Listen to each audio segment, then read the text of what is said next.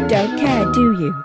You don't give a single shit for my feelings or anyone else's.